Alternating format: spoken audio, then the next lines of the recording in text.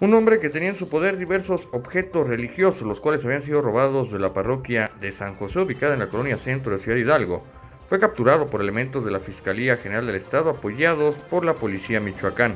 De acuerdo con las autoridades, el pasado 4 de abril alguien entró al citado inmueble y perpetró el robo de diversos artículos, entre los cuales había cálices, ornamentos, monedas, incluso hasta una pesada alcancía.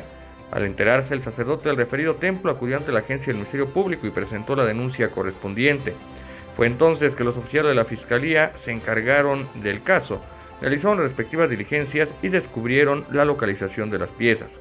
Los uniformados efectuaron un operativo coordinado con los patrullajes locales y lograron detener a Juan Manuel P., a quien hallaron los mencionados objetos, así que fue puesto a disposición de la instancia competente por su probable participación en el delito de receptación.